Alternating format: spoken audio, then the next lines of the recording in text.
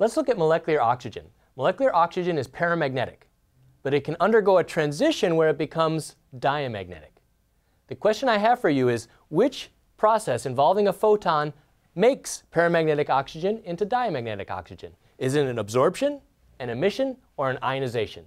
Think about that and make a selection.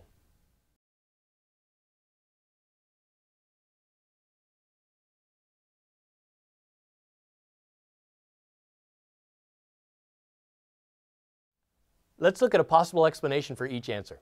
A, absorption of a photon can flip an electron spin, giving a diamagnetic spin pair.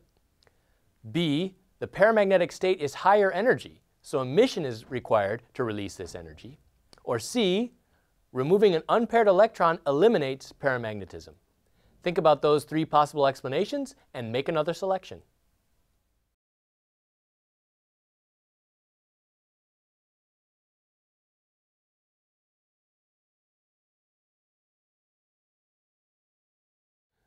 We're talking about paramagnetic oxygen undergoing a transition to become diamagnetic.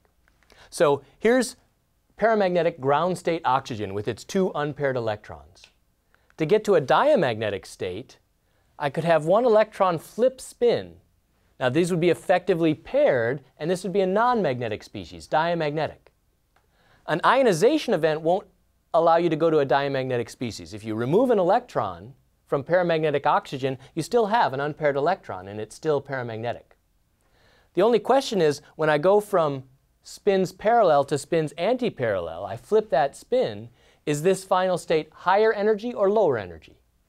Well, I think you remember from filling electrons into orbitals, we put them in spin parallel because antiparallel is the higher energy state.